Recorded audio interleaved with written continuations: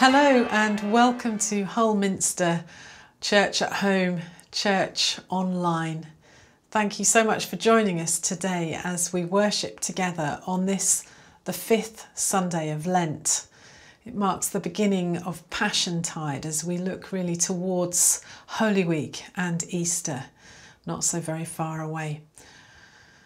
It's also a time where we're marking in the next few days the year since the first lockdown. And so we remember, particularly at this time, all those who've been really directly affected through COVID, through bereavement and loss. Let's come to God first of all in prayer as we meet this morning. Let's bring our prayers of confession, seeking God's forgiveness. God shows his love for us in that while we were still sinners, Christ died for us. Let us then show our love for him by confessing our sins in penitence and faith. Lord Jesus Christ, we confess we have failed you, as did your first disciples. We ask for your mercy and your help. When we take our ease rather than watch with you, Lord, forgive us. Christ, have mercy. When we bestow a kiss of peace, yet nurse enmity in our hearts, Lord, forgive us. Christ, have mercy. When we strike at those who hurt us rather than stretch out our hands to bless, Lord, forgive us. Christ, have mercy when we deny that we know you for fear of the world and its scorn. Lord, forgive us. Christ, have mercy.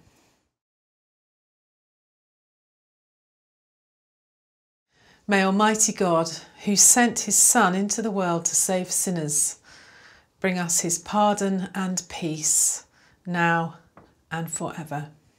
Amen. And today's collect. Gracious Father, you gave up your Son out of love for the world.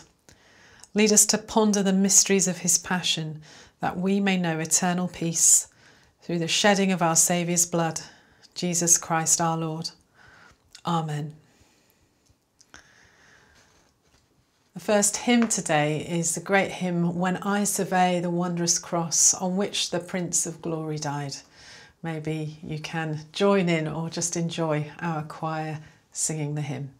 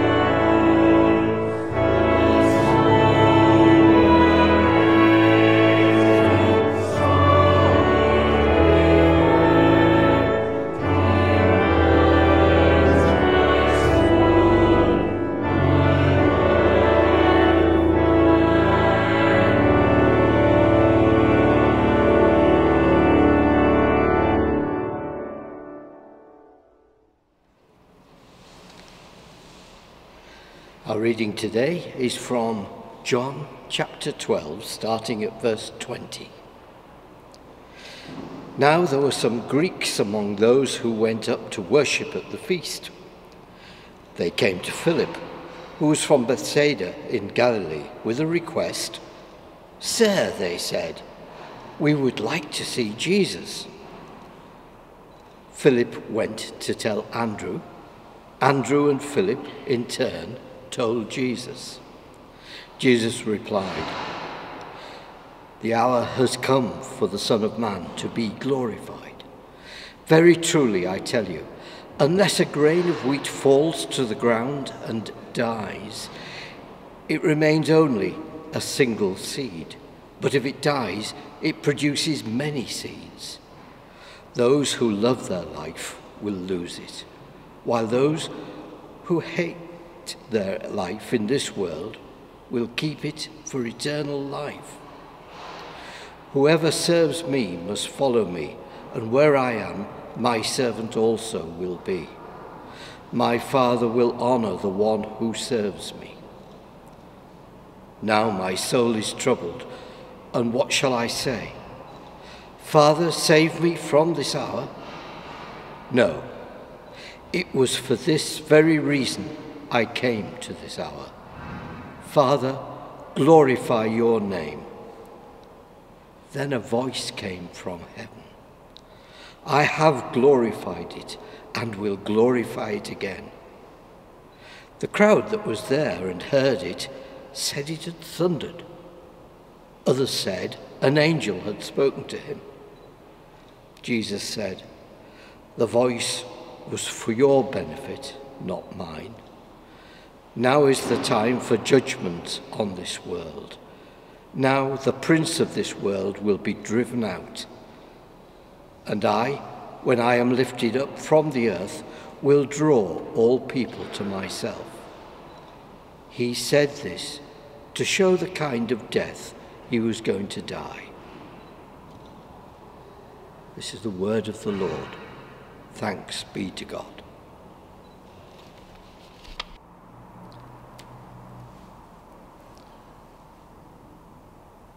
Who is truly powerful?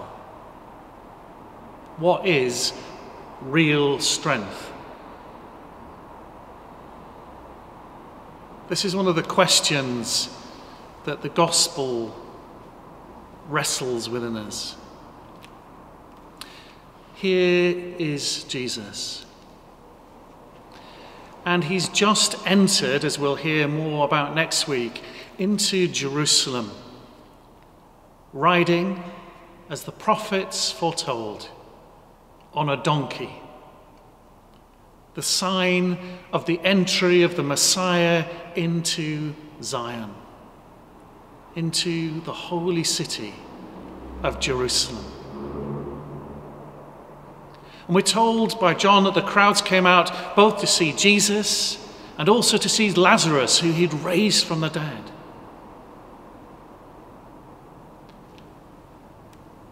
And the Pharisees say, What can stop him now? The world has gone after him. And at the beginning of this passage we've just heard read, we have two Greeks who are looking for Jesus. And they've entered the court of the Gentiles, find one of his disciples, and ask to be taken to Jesus. The first indication of this message being not just for his own people, but for the world. The world has gone after him. But what kind of king? What kind of Messiah is this? In one sense, Jesus is at the height of his power. The people are eager to see the Romans overthrown, to see the re establishment of their earthly kingdom. But the way of Jesus is another way.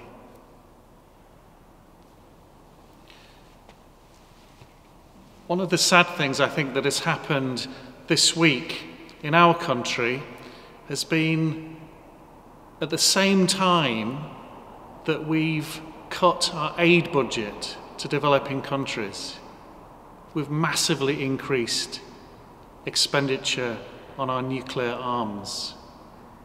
It's as if we've chosen the opposite of Jesus worldly power over service. But Jesus lays down his life as the servant of all. He shows his strength made perfect in weakness. He lays down his life for us and says, Very truly I tell you, unless a grain of wheat falls into the earth and dies, it remains just a single grain. But if it dies, it bears much fruit.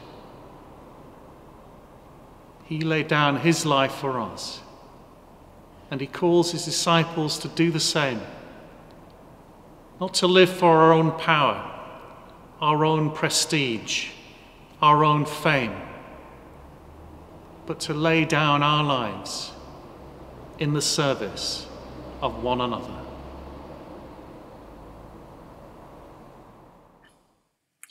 Pass through the gates of God's temple with thanks.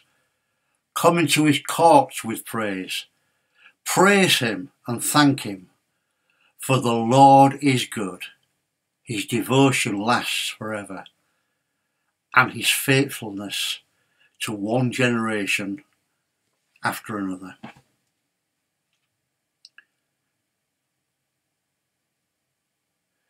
Lord God, creator of all things, for your love for humankind, for your love for each person, for that great and mysterious opportunity of life, for the life of your Spirit within us, for the gifts of your Spirit.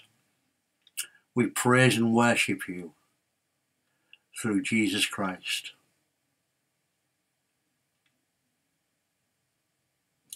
God, Creator,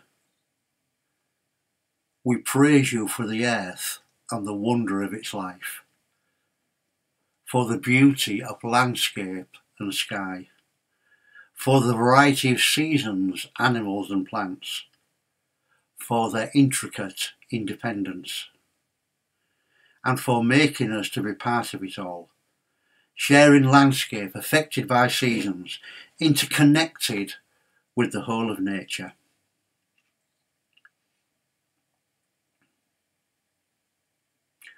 God, Redeemer, we praise you for Jesus Christ and the glory of your work in him, for his life in all its fullness of doing and being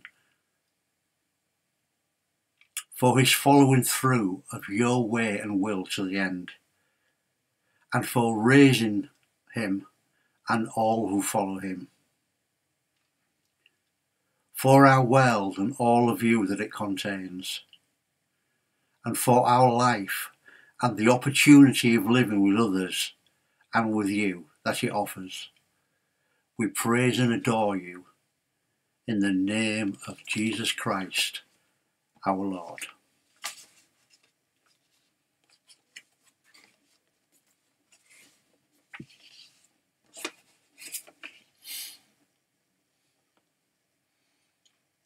God of peace, you have shown us that your will for your world is that all people should live in justice and peace. You have given us a vision of hope where all humanity lives in that wholeness of life for which we have been created. We pray for your world, torn apart by conflict and fear. Nations divided from one another by suspicion, aggression and greed. nations divided within themselves by injustice, oppression, and powerlessness. We pray especially at this time for safety on our streets and that you will help us to find ways of keeping women and girls in particular, but all of us, safe from fear and violence on our streets. And as we are beginning to see signs of hope that the restrictions and illness and even death that's been caused by the pandemic are beginning to come to an end, we pray that you'll give wisdom to doctors, to nurses, to scientists, to those who are administering this wonderful vaccination that we've been give, given the opportunity to have. And that very soon we will come out of this lockdown situation appreciating our freedom and the things that you've given us in a new and fresh way.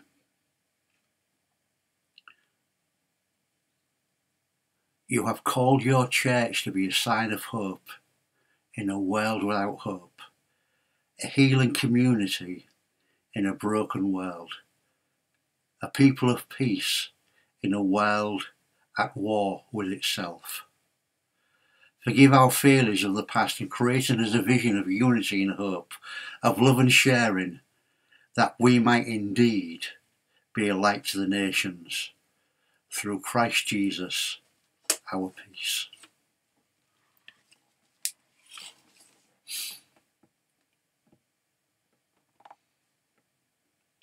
God of peace, you brought back from the dead our Lord Jesus, the great shepherd of the sheep, by the blood of the eternal covenant. Show us the peace we should seek. Show us the peace we should try to give. Show us the peace we may keep. Show us the peace you have given us and make us what you want us to be.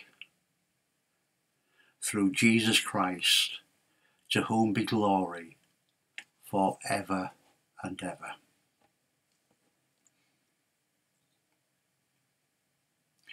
Deep peace of the running wave to you. Deep peace of the flowing air to you Deep peace of the quiet earth to you. Deep peace of the shining stars to you. Deep peace of the Son of Peace to you. Amen.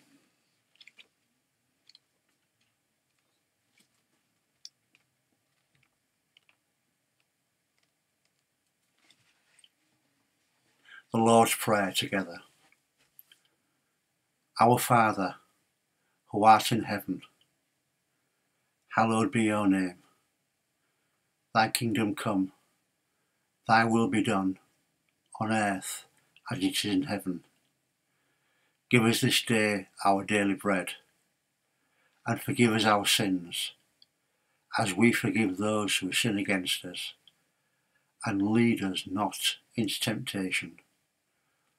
For thine is the kingdom, the power and the glory for ever and ever. Amen. There's just a couple of notices to share with you today. Firstly, that on Tuesday, the 23rd of March, that marks exactly a year since the first lockdown. And so we're taking part in a, the National Day of Reflection, where we're inviting people to remember and to pray for all who have lost a loved one through COVID. Hull Minster will be open between 11 and 6 for private prayer, for personal prayer, and at midday, Reverend Dominic Black will lead prayers in the Minster. We'll also be broadcasting an online service at midday on Tuesday. All our Easter services in person or online, are all advertised on our website. So if you go to the Hull Minster website, you can find everything you need to know there. Please make sure that you book so that you can make sure you've got a seat for those services. Our final song is a song from the Iona community Will you come and follow me if I but call your name? That invitation to follow Jesus.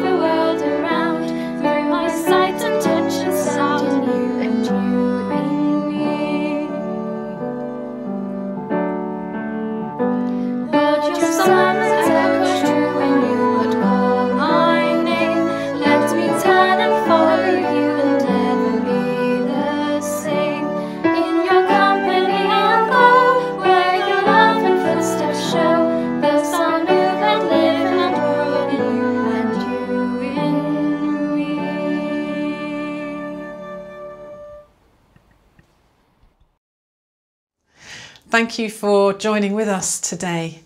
Is a final prayer of blessing. Christ crucified, draw you to himself, to find in him a sure ground for faith, a firm support for hope, and the assurance of sins forgiven, and the blessing of God Almighty, the Father, the Son, and the Holy Spirit be with you and remain with you always. Amen.